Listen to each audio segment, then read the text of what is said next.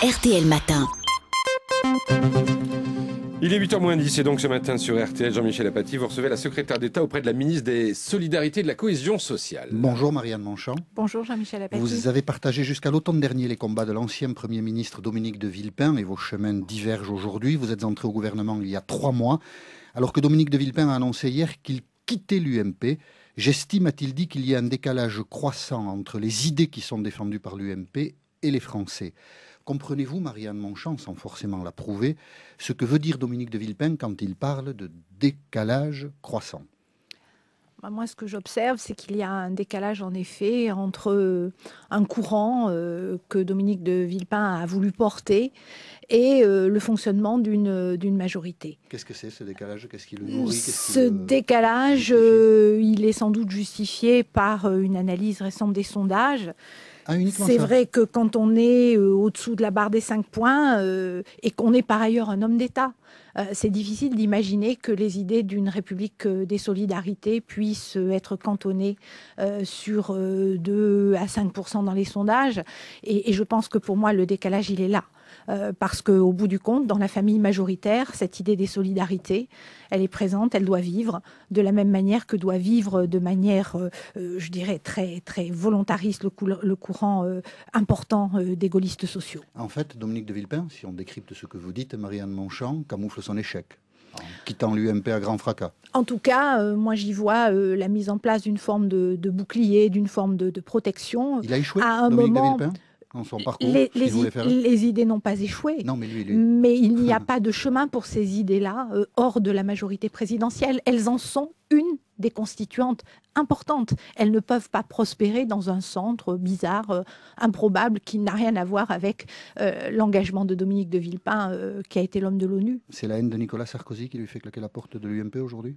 Je crois qu'il y a une hésitation tactique à ce moment-là pour euh, République solidaire. Je, je reprends ma question, excusez-moi. Est-ce que c'est la haine de Nicolas Sarkozy qui lui fait quitter l'UMP aujourd'hui? Est-ce que c'est quelque chose de très personnel? Je ne veux pas l'imaginer. Hmm. Ça n'est pas du niveau des, idées que l'on peut porter, euh, surtout dans la période qui est celle que nous vivons aujourd'hui, avec la situation internationale euh, euh, qui interpelle tous les Français. Vous pensez qu'il prépare sa candidature pour 2012 en faisant ça? Hmm, Personnellement, je ne vois pas comment cela peut préparer la candidature de 2012. C'est plutôt un éloignement de mon point de vue. De votre point de vue.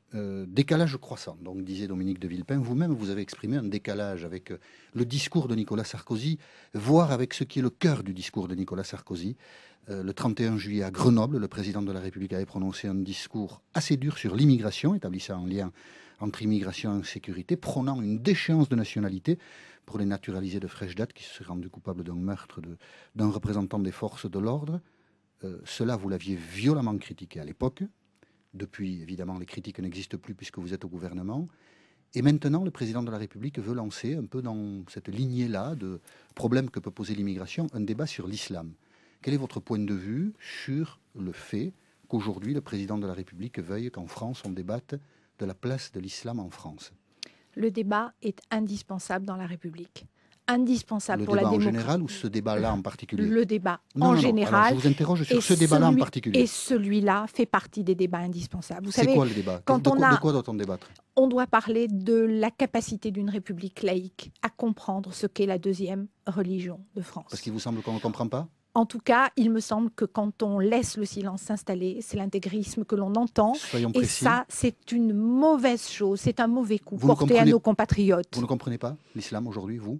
Marianne Monchamp Ma question n'est pas de savoir si je comprends l'islam ou pas. Ma question est de savoir comment, dans une république laïque, faite de diversité, on arrive à organiser la place de chacun pour la cohésion sociale. Mais c'est un problème aujourd'hui Moi, j'ai entendu. la deuxième religion Jean-Michel Apathy, j'ai entendu, comme beaucoup de Français, comme beaucoup de nos auditeurs, euh, énormément de questions, énormément d'angoisses. Ce sont celles que Marine Le Pen aujourd'hui relaie. Ça n'est pas possible de rester sur ce terrain-là. Moi, j'observe que quand on parle de l'euthanasie, par exemple, quand on parle du bébé médicament, quand on parle des cellules sous embryonnaires, on sait questionner la religion catholique. Je ne vois pas Au nom de quoi? Au nom de quelle peur? Au nom de quel débat qu'on ne voudrait pas conduire? On renoncerait à porter ce débat-là. On peut le faire avec l'apaisement de la laïcité. Ce que l'on ne comprend pas, puisque vous êtes chargé de la cohésion sociale et que certains, Dominique de euh, Patrick de ou bien encore euh, hier, et elle est présente aujourd'hui dans le Figaro, Christine Boutin, pense que ceci peut attenter à la cohésion sociale. Ce que l'on ne comprend pas, ce sont les questions que vous vous posez à propos de l'islam. Et si vous, vous, pouviez en formuler une ou deux, ben, on serait heureux de le comprendre. Ce n'est pas des questions à propos de l'islam, ah. c'est des questions à propos de la place des religions dans une république hmm. laïque. Je suis désolé, le débat c'est l'islam en France. La question des lieux de culte pour nos compatriotes est une question qu'en France on a résolue depuis très longtemps pour les catholiques, avec un certain nombre d'hésitations et d'errements. Ça n'a pas toujours été simple. Il faut remonter pour ça à la période révolutionnaire. Ne refaisons pas l'histoire, mais ça n'a pas toujours été facile. Aujourd'hui, la question se pose pour la pratique culturelle de nos compatriotes musulmans, deuxième région de bah, France. Abordons, hein. abordons les choses de manière apaisée, mais débattons de ces sujets parce qu'il semble naturellement qu'ils intéressent nos compatriotes. Il faut courir après le Front National parce que Marine Le Pen vous fait peur, c'est ça? Certainement pas courir après lui. Certainement pas laisser le Front National dicter les termes du débat.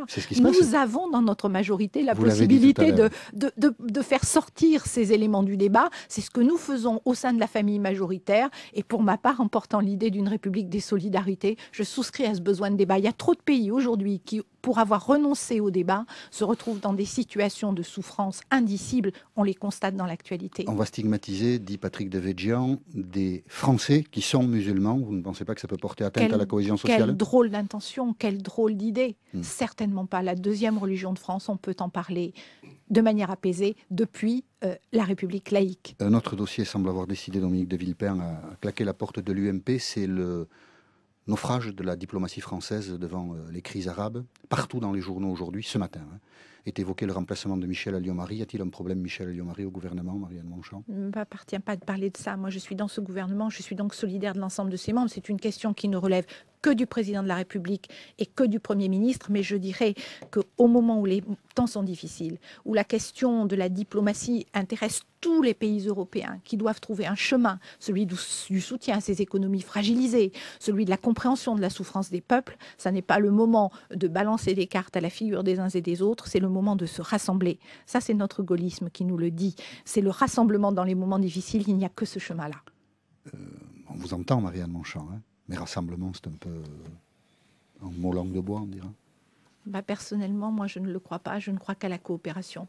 Je crois qu'on ne, on ne réussit, et, c'est souvent un peu le, drame des, des, hommes et femmes politiques que l'isolement. On ne réussit qu'ensemble, on ne réussit que par le rassemblement et la coopération des hommes et femmes de bonne volonté. Dominique de Villepin est isolé je ne voudrais pas qu'il le reste trop longtemps. Donc s'il ne faut pas qu'il le reste, c'est qu'il l'est. Marianne Monchamp ce matin sur RTL, bonne journée.